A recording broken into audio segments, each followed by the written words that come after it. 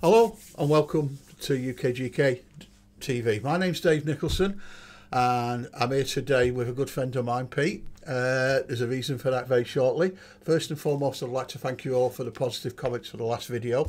No Bill today, I'm afraid. He's away uh, enjoying himself, but I've got someone to step in for him today, which is Pete. The reason we've got Pete in today, because today's episode is about the Hellraiser films and the model kits connected to it. And no, who's any better to do it than Pete? Over to you, Pete. How long have you been doing it, Pete?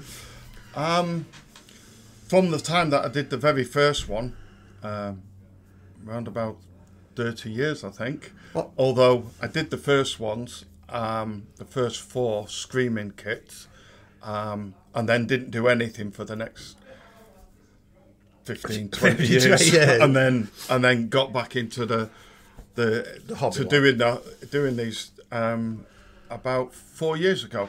So you so so you originally started with the screaming. Yeah, I, I I- was a big Hellraiser fan. I'd never made a kit in my life, Mm-hmm. um, and I was walking down the road in Manchester once, and at the end of Deansgate there was a, a shop that did models. Manchester models. Yeah, That's the one. and they had a pinhead in the window, and Which was the, was it the quarter skies or the small one? it was the Six scale. probably one six scale Yeah. screaming vinyl. Yeah. Um, and the original one was him with his hands out holding the box. Yeah. And I bought that, and then I was kind of there as they were releasing them, and then they did all of the four main Cenobites, and then the Doctor, then they did a couple more pinheads, Yeah. and then that was it. I, um, I'd, I'd done them, and didn't get involved with the, No. hobby at all. Then So you so you weren't really an hobbyist. You were more of a Hellraiser I was fan. way more a Hellraiser fan. Tell us a bit about the films, because to be honest with you, Pete, they're the film that when I was growing up, that was one of the films that kind of scared me. I've watched The Exorcist, I've watched the slasher movies, but that somehow disturbed me. Uh, you know, tell us a little bit about the films and why that was a, got an affinity with yourself, mate. So the the the main problem I'll say about Hellraiser is that it's called Hellraiser. It was the original book that it was taken from. It was called the Hellbound Heart. Um, when they adapted it into a film, the Cenobites tell you what they are. They're um, explorers. They're not monsters. demons. They will only give you what you ask for. The problem is they give it you to the nth degree. Mm-hmm. So if you want pleasure, they'll give you so much pleasure that it overloads you.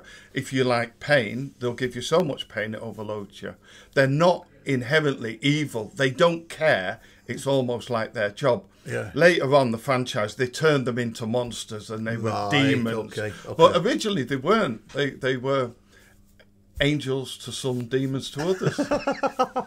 As- And what got you into that? Did you did you just see the film? And I thought saw the great? film and just it blew me away. It's I love the idea of it, and Mm. it was sinister, and it, there's a little bit of blood in it, but it wasn't very. It wasn't like a slasher movie. No, it was- It was calm and collected, and I think that's what scared me. I Thoughtful, think, I think, I yeah. think I watched the first one and I was kind of, ooh, it unnerved me. And then I never went back to it. So basically, I kind of didn't really get into it because it did have a bit of an effect on me and I didn't yeah, quite it's like, like, the it. Hannibal Lecter behind the glass thing, where he's cold and calm. Yes. and you know that Yes, it, it- yeah. at any moment it could go all together wrong for you. Yeah, yeah, yeah, yeah. Because, cause, and, how, and how old are the Hellraisers now? The first one? When was the first one? I think they were first ones were in the eighties. So they were eight, these are 80s films.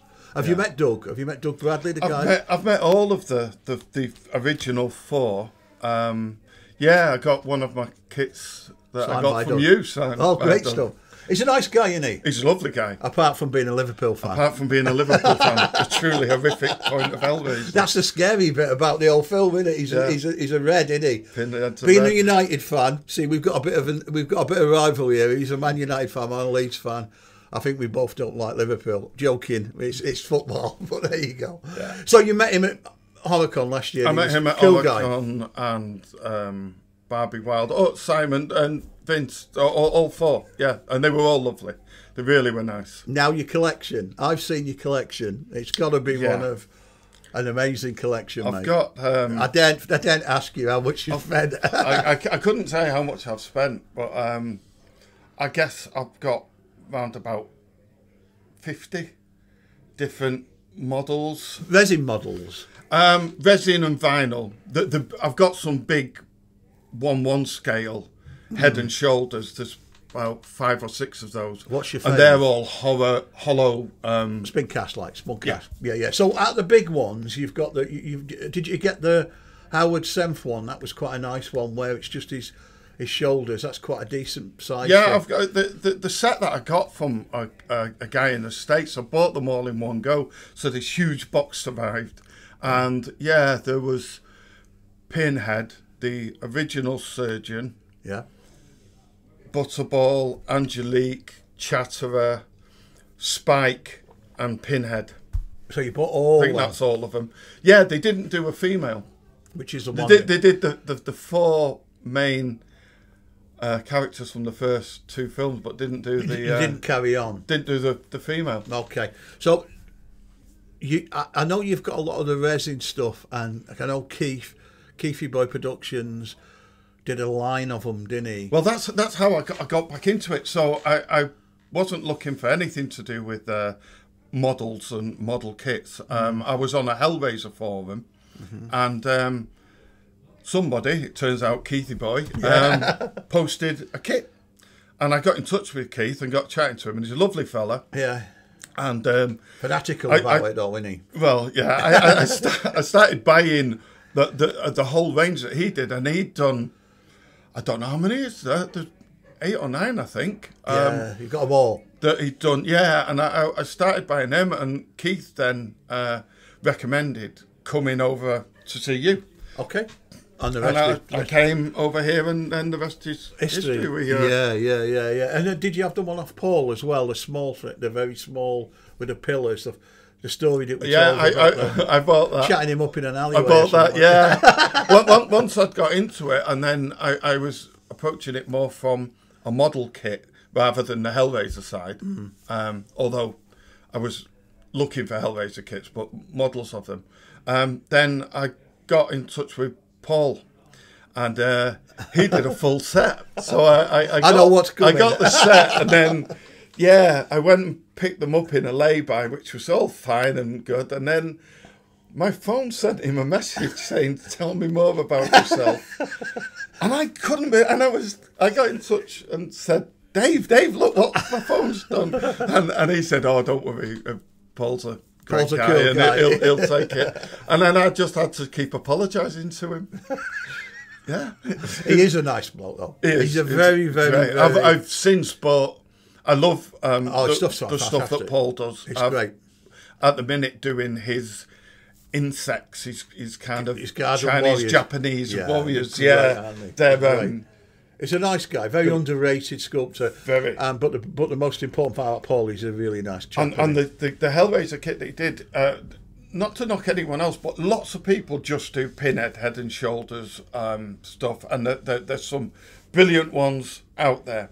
But what Paul did was look at the original story in the comics, Oh, and he's got characters in there that you will never get in anything else. There's Yeah. a clown that juggles its eyes. It's only in for a very brief moment, but Paul sculpted it. Um, Yeah. And then there's a comic book stories where the heroine from the first films actually turns into Pinhead, Yeah. and he's got a sculpt of her doing that. Oh, um, and you just won't find them anywhere else. because because we because as modelers they tend to concentrate on the film Yeah. uh, side of it, don't they? Yeah.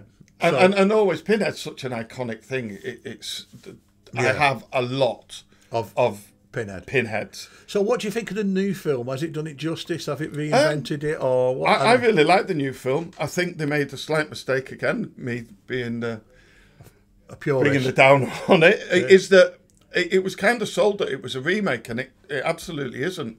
The story is nothing like the first. That the character of Pinhead appears, but spoiler alert, it's a woman. Yeah. And there's no black leather. Yeah. All the costume is done in flesh, and the cohorts are all uh, different than the original films. So what is it? Is it, is it a is it a different story or is Um, It's a, it? A, it's a totally different story. oh right, so, totally- so totally stand- it different could- story. It could stand on its own. It totally. You could watch that and you don't need to have ever seen any of the other 10, 11 Hellraiser films. Is that how many they've made? Made, yeah. And that some of the middle ones are atrocious.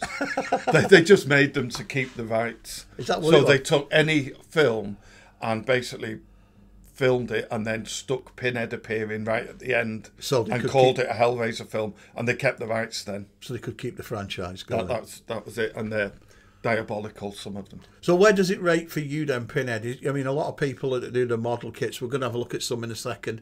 He's kindly fetched us some. Up there with the Universals, do you think? Is it a modern classic? Do you think it's got its own sort of level? Um, I. It, it's what you like. I, I, I love the Hellraiser. I love the all, all of the, the the concept. the of it. characters. I might not like the films or the stories, but the characters and the, the ideas I love. I don't particularly like Dracula and Frankenstein, which seems to be a A big kind of a Yeah. a, a big a big cursor, mate. And um, I, I get why people like them, but they're not my thing. Mm. I, I, I like the Hellraiser. I also like Predator and Alien.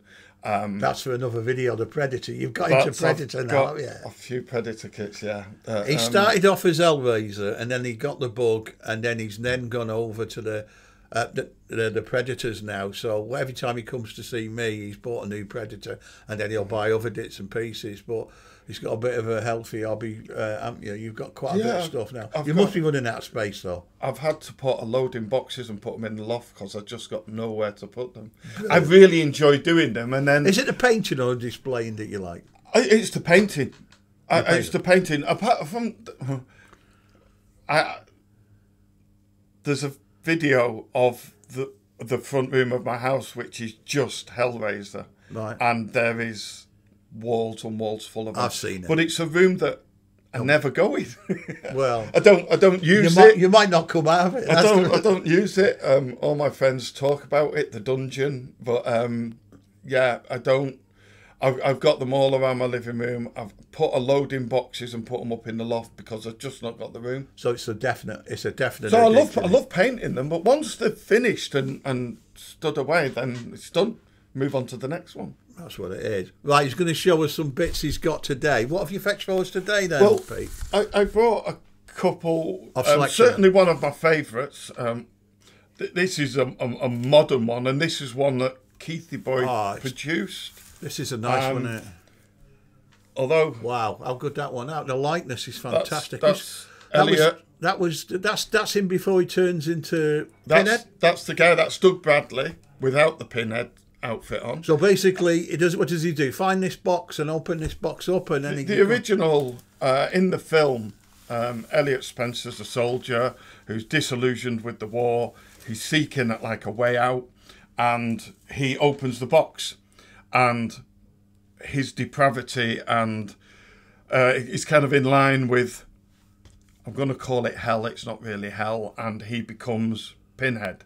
right. Um, but he forgets all about who he is until somebody sort of there's a redemption. Okay. Um, and he's torn away from Pinhead, which quite fittingly is this one? fits, fits into this one, um, Oh, that's which right. is uh, I've seen that one before. that's um, in the That's third film. That's in where he's coming out into. That's in the third film. Uh, Elliot's actually trying to get back into Pinhead because once they remove Elliot from the monster, Yeah. the monster's unchained then. He's got no rules. He doesn't have to follow anything. He can just be as horrific as he wants. So Elliot fights to get back into Pinhead Yeah. and then gets sent back to hell because they can't do it. Pinhead won't go on his own. Right. So the first one now, uh, that- could you show, show us that one again? The first one, the Elliot Spencer. This one is sculpted by Andy Copeland. Um, sadly, it's no longer available, uh, but this was produced by Keithy Boy. Um, lovely piece, fantastic likeness. Andy did a good job. Casting good. Casting. It's stunning. Um, as with all of Keith's kits, you don't have to clean them. No. they're they're, they're absolutely. Second to none. You just undercoat it and it's, it. it's a painter's kit, isn't it? It is. It is. do we know? Do we know who's done this one? We don't know. Tell us the story where you got this one from. No idea that that uh, somebody on was selling it on eBay, and it was uh, quite badly painted. So it spent its first few days of its life in a a bag with some oven cleaner, stripping all the paint off it. Really nice that is. Really, really nice. Really, really, really nice. Superb. But we don't know where this one's come from, guys. It's quite a heavy thing. I, I don't know what resin it is, but it's quite a heavy resin. Is it one part? Was it one part? Yeah, it's just one one piece. Brilliant. Absolutely brilliant. What's the next one then, Pete? And then, after the third film, there seemed to be they did a set, and these are the ones that I'm desperately trying to find. Um, they're the pseudo Cenobites from the third film, and, and this one is uh, Camera Head. Wow, he's nice, isn't he? Um, Where did you get him from?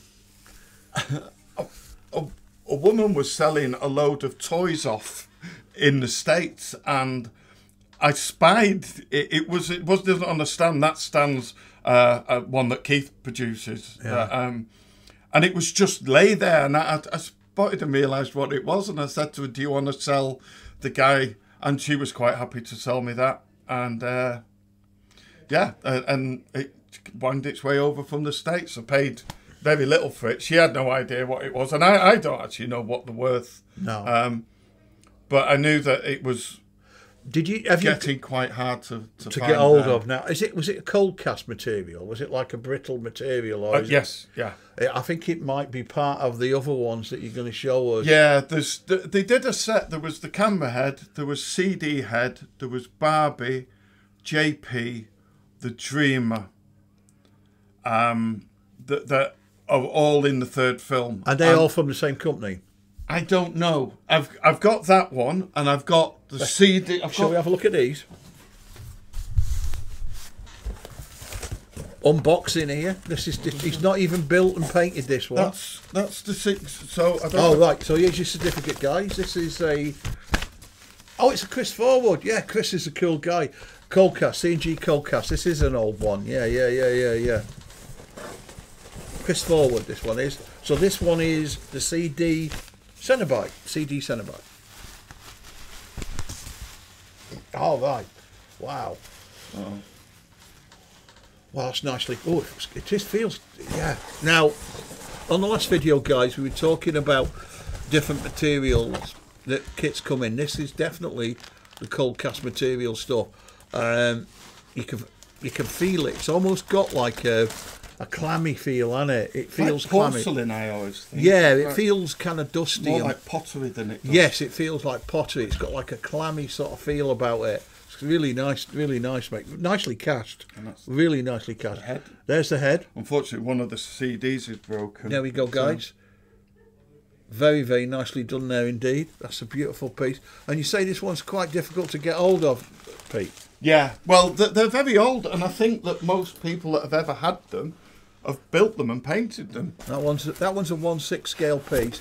I'm guessing he's got a CD in his head. Or comes on a a CD in his hand. Comes on a nice, um, like a street base with a with a grid on it. So I'm guessing he's kind of he's kind of walking there. So it's quite a nice piece that. Yes, nice piece. Nice. There's no work on that whatsoever. There's no clean up on it.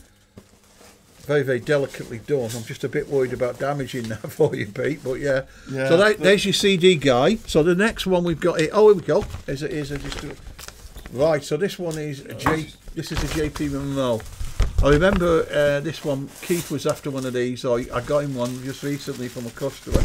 Um, uh, I'm, this is a Neil Sims piece. Uh, so Neil, I think Neil put this out. Uh, I'm not sure whether it was NMT or he did it out of his own company when he when he of yeah Neil Sims Productions. So this is a proper Neil Sims. This is a while ago. This one, mate. This, again, this is a um, this is an old kit, mate. Yeah, it's a very very old They're all from the one film, um, and it, it was the third film that they made. I don't I don't know what year they made it. So this So- the CD guy. That one is from Coldcast, and I think that one's from the Wale- Wales, uh, and by Chris Forward. And then the one we're looking at now, the Monroe one, is by Neil Sims, and again that feels cold cast. So that obviously, as in last per video, and you go quick look at him. He looks a nice chap to meet out, doesn't he? Really, uh, slight, slight more, slight little, slight seam there, but it's not much on it, guys. Really nice piece that. Um, Neil, Neil's a Neil's a good sculptor. Detailing on that one's fantastic. There is all the bits that the pistons that are in are done in brass. The, they? the rods that stick through his head are done in It's a brass. really, really so- nice, real, real nice one. That and the, the, Neil's got some fantastic detail in that one. So there's the two together, um, roughly about the same scale. So it would make a nice sort of a nice set, wouldn't it? Really, Yeah. So there's really nice that one, Pete. First time I've seen one of them for a long time. Neil, obviously Neil's Neil's detailing is fantastic. If you look down here, are you going to paint this one? or take it, or are you going to keep I, it? I, I, the yeah, they will get painted. I will hold off for a while, but I know that eventually I will just give in and paint them. You will. You're not. So you're not. You don't buy these for collectibles. You just buy No. them for. No, I just you buy them for your the own fun of doing enjoyment. So what's going to happen to all these Hellraiser things when anything happens to you? Is the family going to have it? That's it. There'll be a big sale on eBay, I guess. yeah, yeah, yeah. So that is the. Is this one? Take it. This one's not in production still anymore, is it? I don't. I don't think any of these are. I don't think you can. I, I would stand to be corrected. I don't think you can get hold of any of them. No, anymore. I don't That's why think they so. become so rare. I think Neil went on to do tattooing. I think it, I don't think Neil's doing much sculpting at the moment. A real shame because he's a fantastic sculptor. Neil is. Nice set of instructions, by the way, which you don't see very often. Um, with the JP, so this is these are fantastic. I mean, I know Keith goes on about this set. I know Keith goes on about this set, and I think I'm not sure if he's got them all. I'm pretty sure he has. Going over to the stateside now, did you get that great big Channard one where he's got the huge big thing where he's where he's where he's supported by the Dr. Channard? Is it? I, I got. Yeah, there was. I've got two. Screaming did one, yeah, uh, which, which I have, and then there's a resin one, the wasn't there? resin one. with all And the with it- all the tentacles and stuff. I think it's the same guy that did a Julia one where Skinless she stood Julia. on a mattress. Yeah. And she's got a, a skinned and she's Yeah. got a hand out. Yeah. I think they're either from the same sculptor or the same studio. I wouldn't swear to it. Yeah, I think yeah, I think so. I think you probably. Well, I remember when I used to go over to Chiller Theatre, that that piece was was available and it was seeing its seeing its debut over there, and then he had a, a Marilyn Manson Antichrist figure as well. Exactly. Yes. Have you got that's- that one? No, I haven't, and I am a big Marilyn Manson fan. Oh, Uh, I right. saw somebody um, on one of the forums had it and was starting to paint it. But I, I, I think That's again a big thing, that mate. that, that they're very hard to get hold They're of. very hard to get, and I think they were of the day when we when when I was used to go to Chiller. They were they were amazing big detailed pieces. Looking at these, they, they were fantastic pieces, but the casting was of its day. Mm. So, but I do believe that they've remastered some of them and are putting them out better now. But I'm not sure whether the two that you're looking whether for. whether I can Well, get hold well of the. keep fingers crossed. If anybody's got one, just shoot a line to Pete, and I'm sure he'll be uh, happy to uh, talk to you about that. Yeah. Uh, so I'm going to ask you a really difficult question now. Favourite one. Favourite one. What Um, enjoyed doing the most?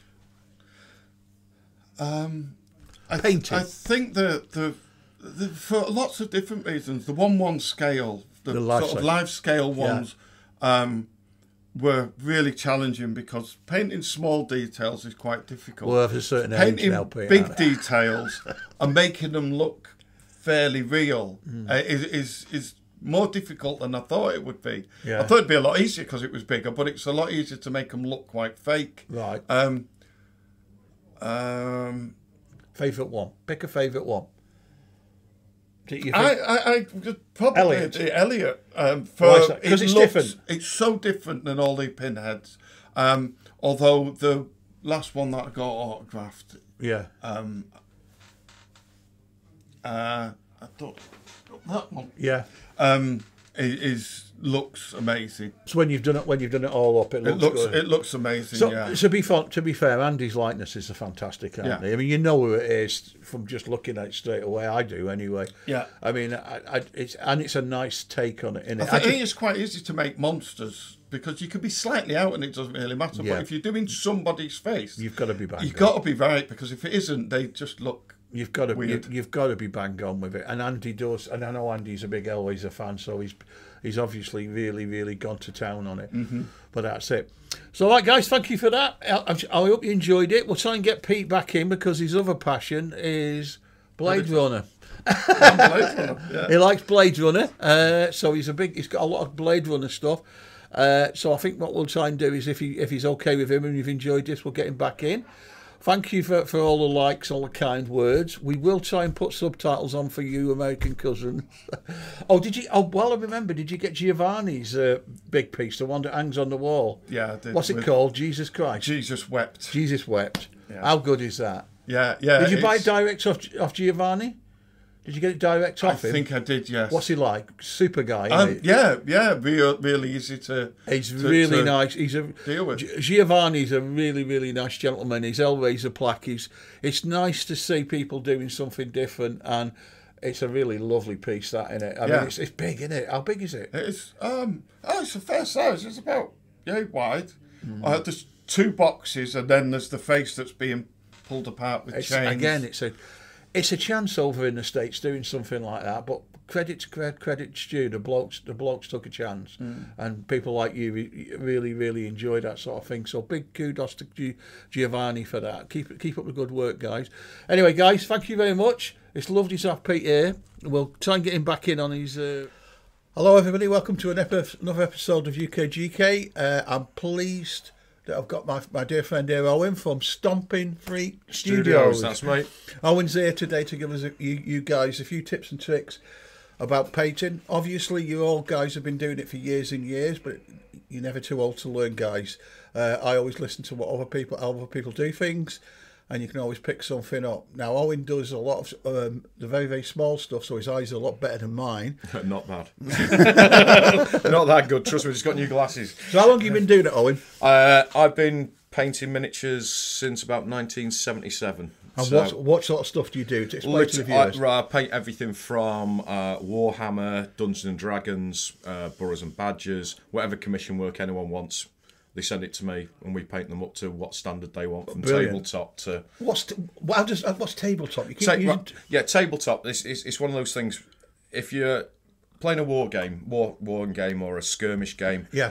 from six feet away, you can identify what it is Right, by the okay. paint job, and the closer you get, the more detail you, you add to the miniature.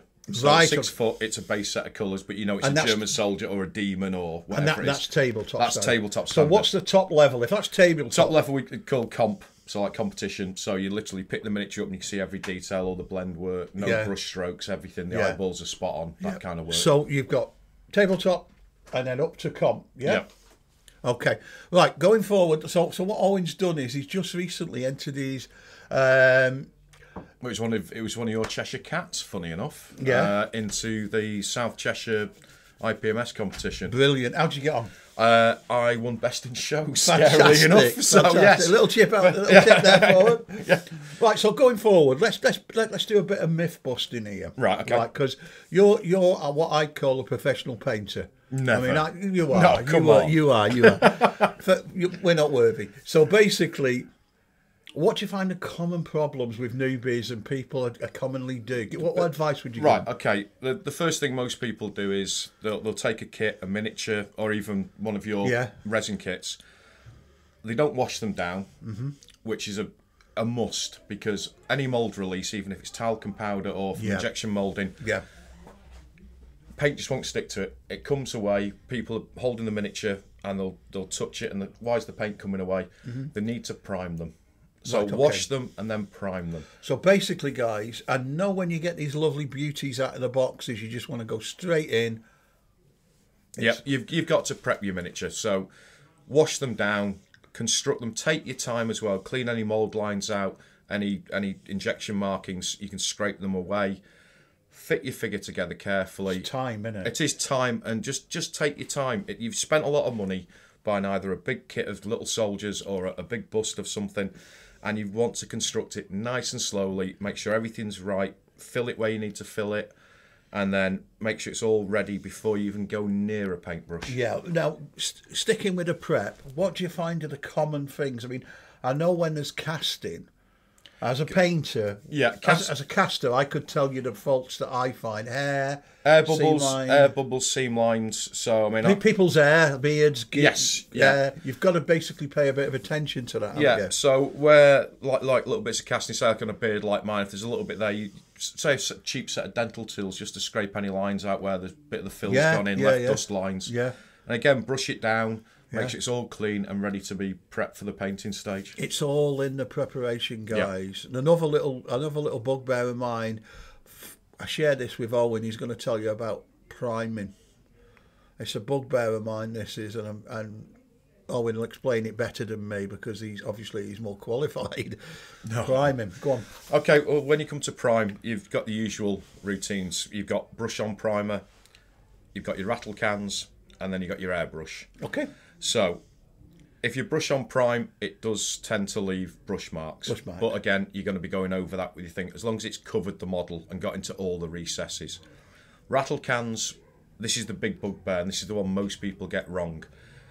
They don't shake the can enough, Yeah. and they don't warm the can on a cold day. So into some warm water for a couple of minutes, shake the can up, give it that two or three minutes of shaking time. What does that do, Owen? How, how does that benefit you? Uh, well, if it's cold and you come to spray and not shook, you end up with like I would call it a a misting effect. So you get speckled spots all over the. Hmm. Comes out the, the, the sprays. Yeah, it sprays. It looks like somebody's got like snow and gone, Yeah. Okay. and it leaves marks and tide lines around it where it's separated from the the right. pigment. Okay. Okay. Okay. So if you warm it and spray, again, don't spray. This is the other big bugbear is people tend to heavily spray up and down the miniature. Yeah. They fill all the recesses with All the paint. detail. Yeah, and it clogs it and then sets like concrete and you can't get it Yeah. back.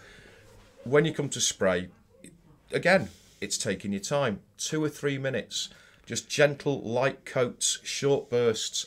Even if you can still see some of the model through the primer, there is primer over it. It's because it's a key- darkened. Yeah, it's- it's it's it's just a key, innit? It's a, yeah, just a light, gentle coat. what what I find is, sorry to interrupt you. What I find is you tend to want to pile it on, Oh yeah, completely. and then all the little fine detail, and then it, it just doesn't work. Well, so I, it's like I said to you the other week, I saw a chap literally with a rattle can, and he'd prepped Yeah. it and everything, but then he just sprayed thick layers of paint over it, Yeah. and just kept his finger down on the aerosol, and it's just and it's it just it just took all the detail out, and it Yeah. literally looked like a, a plastic mold. yeah, Yeah, yeah, all the yeah. skin texture gone, everything. Yeah, I mean, another primer we use is like self-leveling, but we do tend to. There is a there is a difference just got- because Dave's got his own range that you mm. probably everybody knows. That primer is the best primer I've why? come across. Why? Um, because thin light coats, like you say, it goes into the recesses. It mm-hmm. self it self levels, and It's it got a nice feel on it. yeah, and it, it holds itself nicely. So when you've sprayed it, you've you've all your texture lines are still there. Detail it, and deta- everything, yeah. Mm. detail, and it's just perfect. And if you let it cure overnight, don't think give it an hour and then start painting. That's the other big mistake. Because there is a, with every primer there is a little bit self activation Right, okay. as soon as you add water or, or paint on it. Are you one of these painters that, that uses a particular colour primer for, or are you the ones well, that use is the next per, one per job? Yeah, so it, it depends per job. So So you do one per colour per job? Yeah, depending on what it is. So, say if I was uh, painting up a bunch of German tanks for somebody in 28 Yeah. mil scale, I'll use your grey primer. Grey. 'Cause it's the yeah, 'cause it's instantly the base colour. Mm. Then you can add the, the lighter blue German blues to it. But again, it's it's a base colour. So white, I use fairly much on bus and stuff. But Yeah. my primary primer is black. You I use always go with black. Oh, that's interesting. Always with black. Why black? It seems just to be the standard norm. But again, when you spray black, it gives you room to manoeuvre. So you can do thin light coats and build it up, and you can see it build up. But the black then leaves, like say on my shirt there, you can see it's darker. Yeah. And as, as you paint thinly over, that black can just Yeah. just come through It, the base it colour. gives you the it gives you the contrast. gives you yeah, it starts to build up your layers. So so let me get this right. Would you use black on a face? Yes, I'd use I'd use black on a face because again around the eyes and nose. Mm. Um, but then you go into the next painting stage where I'd add blues and purples before I even went near the skin tone. Because Underneath the, the skin. is. underneath the skin tone on Right. the primer. Right, Because okay. as you know, a lot of people just spray a, a or, or airbrush or paint a, uh, a skin tone on, Mm. and the natural colours that are underneath the flesh Mm. don't stand through. They look okay, but when they're not there, you notice them. So, missing. you, so is your preference vehicle or or or, or people or creatures? Do you like what do you prefer? Uh, I'll, I I prime with black, and then depending on what it is. So, say one of your Mr. Barlows. Yeah. I would I would prime that in black, and then I'd use a zenithal highlight, which again is another priming technique. So you prime your figure in black, let it go off, and then from a forty-five degree angle above the model, you spray a white primer. And it and it settles that it literally settles. You can see where the highlights need to be on the figure. So if you Ah, then do a lighter coat over it, it allows that to come through, so that it darkens and lightens Right, all in I one. see what you mean, It's a yeah. quicker. It's a cheat, and it's not. It just helps the process. Yeah, yeah. So, what do you prefer though? Do you prefer vehicles or? I paint anything. You- Yeah, but what's your preference? My- What- oh, what's your most enjoyable one recently? Well, I'd say the Cheshire Cat and the cu- cu- currently the undead hamster supplied by yourself. So, you, so you, you we've converted you. yeah, oh, I'm a complete uh, fan of resin kits. Always So now been, you're but- coming over to it. So, so where can everyone see your work? Because we're going to get you back on to actually do this. Right, I, I knew you'd say that. There's no promises there, folks. Um, this is just about priming today, Yeah. guys. What we're going to do is we're going to have a few sessions where we chat about it, and then we're going to have some couple of demo time with, with Owen. He's kindly agreed to doing that if we supply him with biscuits. But that's the one. today is primer only. We're going to get onto top coats, special specialized coats like pearlescence. Pearlescence, yeah. Uh, multi-phasing paints. There you go. We're going Yeah. to get onto all that and chalking and airbrushing at some point, but we thought we'd chuck a bit of technical stuff in and have a bit of a chat to sort of get you involved in it. So, what's your personal choice then? Is it? Would you prefer to paint?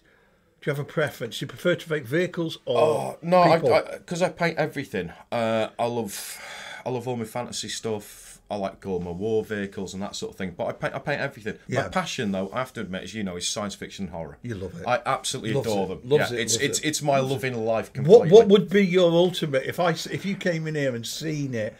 What would be? I've got to I, I, I can't say that because every time I come in, I just, I just, I just, I just drool. It's just like Yeah, but- it's passionate. Yeah, but there must Yeah. be a film that we've not done that you think. I've really put you on the spot now. I promised I won't put him on it. No, no. A, fil- a film you've not done would be. Let me think. Um, I've not seen a scanners bust. Scanners. Yeah, That's very interesting. Yep. the famous poster with Yeah, the, yeah, yeah, there was a That's kit of it. There was There was years ago. It was a Yeah. plastic kit. I remember Yeah, it. yeah, yeah, yeah, But no. I'd love to see a bust of So that, that, again. that that's that's your you like scanners. That's Oh, your I type. adore scanners. It's one of my favourite films. Good. Um. I mean, I, I still remember seeing Alien in in '79, and I was allowed to go and watch an X film because the cinema owner knew I made zombie films. and he sat with me during during Alien, and apparently, I, I, I sort of remember. I remember watching the film. When my father came to pick me up, he said, uh, "How was how was my lad?" He said, uh, "He goes, put it this way, uh, Brian." When all the teenagers freaked out when the actor John Hurt had this thing jump out of his chest, he goes, everyone was freaking out and screaming, the girls. He goes, and I looked over at your son, he had the cheesiest grin on his face I've ever seen. I loved it. and, you've, and you've been warped ever I've been warped ever since, yeah. Right. Okay, guys. Thank you for uh, tuning in. We hope to see some more of Owen. Um, you really don't. we do, we do, we do. Not in that way, but we hope to see a bit more. Uh, smash a like and subscribe to the channel. We are going to get him in and actually do some of this stuff, so he's not going to get away do. with it by Yeah. just talking. Uh, speak to you soon, guys. Take care. Bye bye.